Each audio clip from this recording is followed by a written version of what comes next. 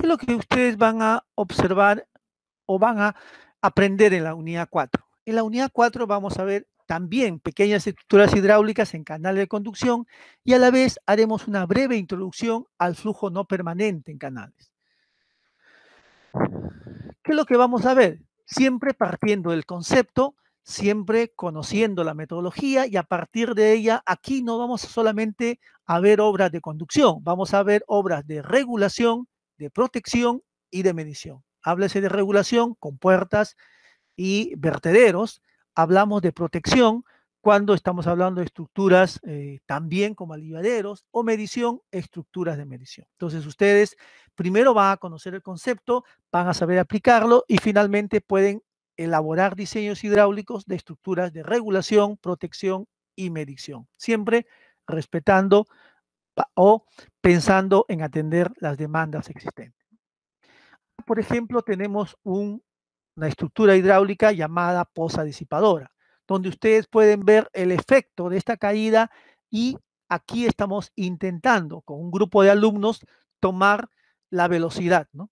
La velocidad que tiene este flujo de agua en ese instante, ¿no? Este es dentro de una rápida. Entonces, ¿qué es un aliviadero? O también en algunos casos le llaman vertedero, estructuras que protegen. ¿Y por qué nos protege? Porque expulsan todo exceso de agua por encima del nivel normal. O sea, si este tiene, digamos, dos o tres centímetros más de la altura total del canal, o en este caso del tirante, inmediatamente el, flujo de agua sale. Por eso es que decimos que es una estructura de protección. ¿Qué es una caída? Es una estructura que emplea el desnivel para partir de ello dejar caer el agua, eh, obviamente cambiando de rasante, y para ella va a construir en la parte baja, que se va a generar bastante energía específica, una estructura llamada disipador de energía. ¿no? Como ustedes ven aquí, aquí está la, la poza disipadora y aquí se construye para que esta energía que usted está observando se disipe en esa caída. También podemos hacer, como decíamos, con el caso del flujo gradualmente variado, aplicando el flujo rápidamente variados, hablamos de rápidas, que son estructuras diseñadas entramos pendientes muy pronunciadas y que va pues a una gran velocidad y necesariamente en la parte baja se generan regímenes turbulentos, con gran energía específica sobre todo. ¿no?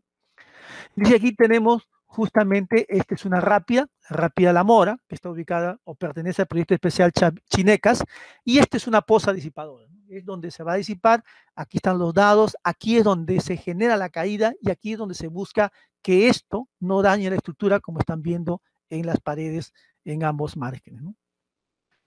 ¿Y por qué es importante para concluir, ¿no? Para concluir esto, decimos, ustedes pueden terminar o al concluir esta parte a elaborar diseños hidráulicos de las principales obras de regulación, protección y medición. Hablamos de regulación con puertas, hablamos de protección aliviaderos y vertederos, y de medición, estructura de medición que permiten saber cuánto es la cantidad de agua que está circulando en este momento. Y que todo ello ustedes pueden aplicar, señores, en su desarrollo profesional. Para concluir, este, decíamos, es una rápida, la rápida de la mora, que por diferencia de presiones y pensando en la aplicación de este tema, podríamos generar energía específica como el que ven ustedes al costado. Entonces, esta es la aplicación directa de un tema importante y en su caso ustedes, ¿en qué lugares en los cuales ustedes están viviendo tienen situaciones como estas y de repente podríamos pensar en proyectos pequeños que a la larga se pueden convertir en realidad de apoyo a vuestra comunidad? Muchísimas gracias.